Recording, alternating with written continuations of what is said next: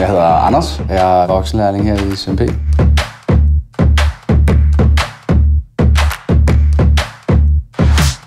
Noget af det, jeg synes er fedt, det er at komme ud og være med til at opleve hele den der operation med, hvordan får vi skibet tømt hurtigst muligt og fordeler arbejdet bedst muligt.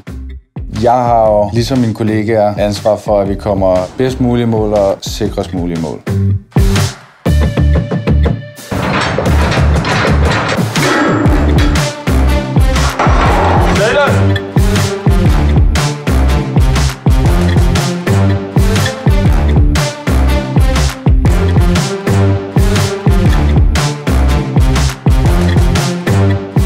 Super meget øh, følelse af frihed, når man går der. Det synes jeg er fedt.